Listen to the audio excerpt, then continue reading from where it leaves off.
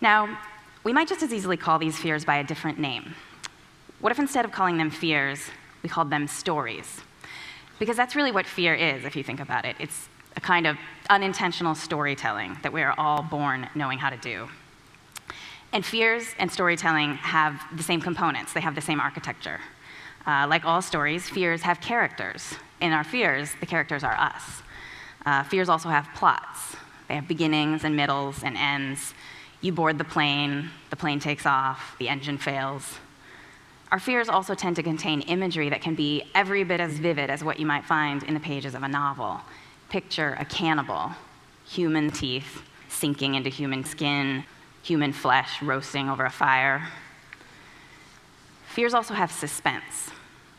If I've done my job as a storyteller today, you should be wondering what happened to the men of the whale ship Essex. Our fears provoke in us a very similar form of suspense. Just like all great stories, our fears focus our attention on a question that is as important in life as it is in literature what will happen next? In other words, our fears make us think about the future. And humans, by the way, are the only creatures capable of thinking about the future in this way, of projecting ourselves forward in time. And this mental time travel is just one more thing that fears have in common with storytelling.